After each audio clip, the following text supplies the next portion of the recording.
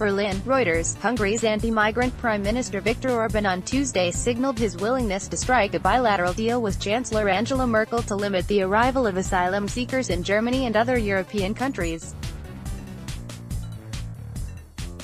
File photo, Prime Minister of Hungary Viktor Orban attends a news conference in Budapest, Hungary, June 21, 2018.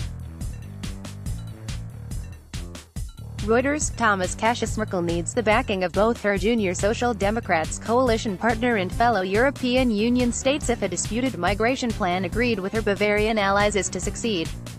Merkel's Christian Democrats and their longtime Bavarian Christian Social Union allies agreed on Monday to set up special transit centers at the border with Austria where migrants already registered in other EU countries will be held and then sent back to the countries where they had registered first. In an interview with German mass daily Bild, Orban said Hungary was open for talks with Germany if Berlin managed to strike a migration deal with neighboring Austria, whose Chancellor Sebastian Kurz is, like Orban, an immigration hardliner. The order can only be negotiations between Germany and Austria, then negotiations between Austria and Hungary, Orban said according to a Bild pre-release published on Tuesday. And only at the end, if there really is clarity about the German position, there can be negotiations between Hungary and Germany, Orban added. The Hungarian Prime Minister stressed the need to strengthen the protection of the European Union's external borders and to establish migration transit centers outside the EU.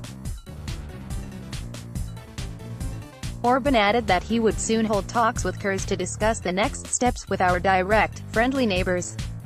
The migration dispute underlines the deep divisions lingering within Europe on how to deal with the migrants who have arrived in the last three years.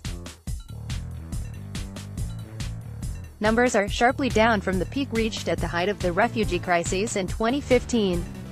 However, there has been a surge in departures from Libya of migrants trying to cross by sea to Italy.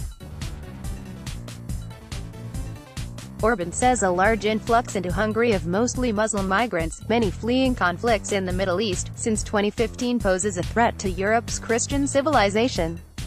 Kurz, who governs in coalition with the far right, has pledged to prevent a repeat of Europe's 2015 migration crisis in which Austria took in more than 1% of its population in asylum seekers. Reporting by Michael Nienaber, editing by William McLeaner Standards. The Thomson Reuters Trust Principles